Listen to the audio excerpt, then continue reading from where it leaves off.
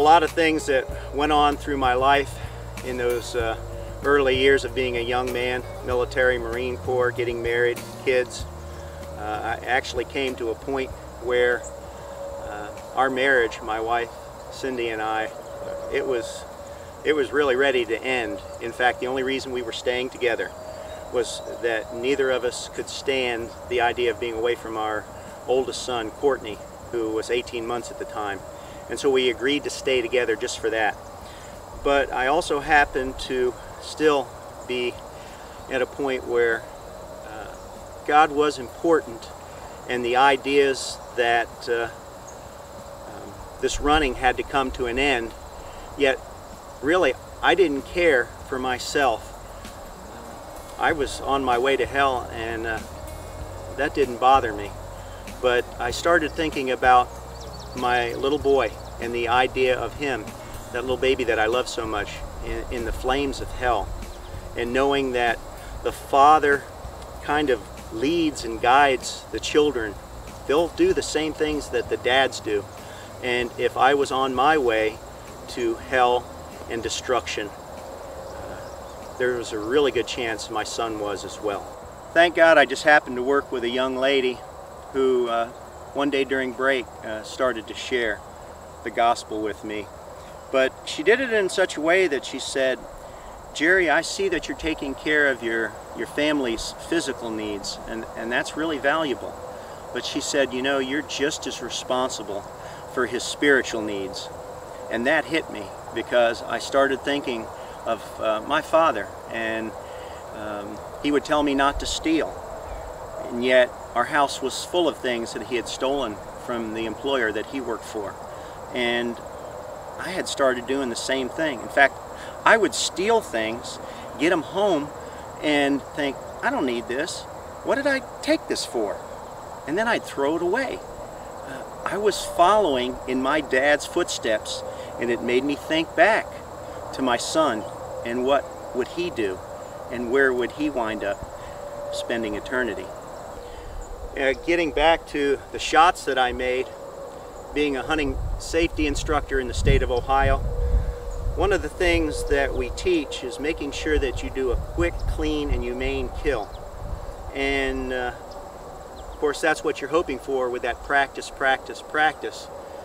But when it came to a scripture verse in the Bible, uh, and it was referring to the crucifixion, which was anything but a quick, clean, and humane kill. In fact, people would hang on the cross for four days. That scripture verse in Luke, in fact, Luke 23 42, spoke to me like no other.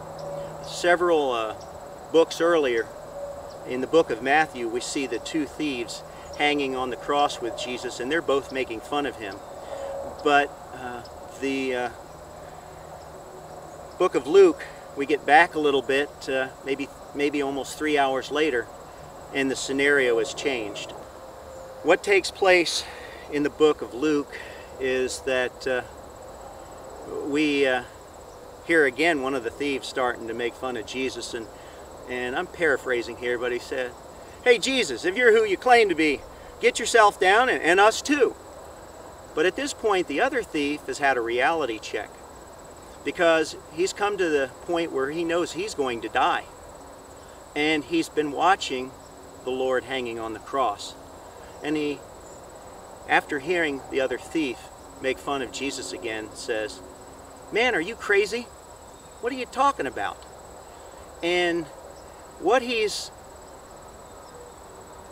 doing here, what's happening here, is there has been a change of heart in him. But I guess what I should also do is tell you just how terrible the death on the cross was. In fact, the word crucifixion was invented because there was no other word to cover how horrible this type of um, death was. Uh, originally, the Persians had uh, begun doing it, but it was the Romans who perfected it. You see, earlier before the cross, uh, Jesus had been whipped, scourged, and uh, they used a type of whip that had many, many leather thongs, and on the ends of the thongs they would put um, metal hooks, bone, glass, lead balls that would actually bruise the flesh. Then the other uh, hooks and things could rip it open. People actually died from this kind of a whipping, and uh, they would be whipped to the point where even bones, the, the spinal column and the ribs would be exposed. And so here, Jesus hanging on the cross, and he went there to uh, take the sins of you and I on that cross with him. Uh, they had nailed him in such a way that his feet were uh, nailed together and nailed in the hands. And in order to get a breath after hanging for a period of time like this, he would have to go up and down. And his back, like hamburger, would be rubbing against that cross as he went up and down each time he needed to catch a breath. That was the only way he could breathe. In fact, that's really what normally took place as a person would get so tired of pushing themselves up or they would give up and uh, then, then they would expire. Uh, while they hung on the cross, birds would land on them and, and tear at their flesh and insects would land and, and bore in. And just like I, I've seen uh, yellow jackets land on the kill uh, of a, a, deer or uh, another kind of large uh, animal that might be harvested and cut off flesh and fly away. The same thing would happen on the cross. Unlike uh, we hunters, as we're supposed to be making sure that we uh, uh, carry out a quick, clean, and humane kill, the cross was anything but that. And as Jesus hung on the cross there for us, um, shedding his blood, which would cover our sins, he took the sins of every man, woman, and child on that cross with him. Again, that, that other thief said, Can't you see that this man has done nothing? He realized he was who he claimed to be. He was God in the flesh. He was Emmanuel, who had come to suffer and die for all of mankind. And after uh, telling the other thief to shut up, he asked Jesus to remember him when he came into his kingdom. And Jesus said, This day you'll be with me in paradise. Three things happened there at that point. Um, that was that this fellow realized he was a sinner. The scripture tells us that all have sinned and fallen short of the glory of God. And also it says there's not a righteous man on earth who has done what is right and not sinned. So he's admitting that he was a sinner. He, in those three hours or so, as that time on the cross took place, must have come to a point where he was sorry for those sins. And he realized that there was only one that could save. That was Jesus Christ. Didn't have to do a whole bunch of stuff like I had been taught. It wasn't like he had to get down from the cross and carry out this action and that action.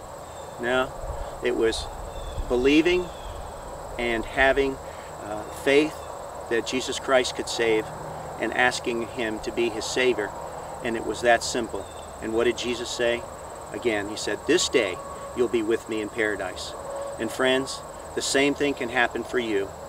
Uh, you can, as simply as receiving him in faith, uh, believing in your heart, and confessing with your mouth. You can have Christ as your Savior too. And you will be able to see Jesus in paradise. In the book of John, um, the fifth chapter, and the 24th verse, um, that scripture tells us that uh, once we do that, that by believing in Jesus Christ by faith, confessing with our mouth, and asking Him to be our Lord and Savior, coming into our heart, uh, we don't have to be concerned anymore about whether or not we'll be with Him for eternity. And I think that is a verse that should be considered by you and I also think that um, as you're beginning a new life with Christ, I would suggest that you take the entire book of John, read it again and again.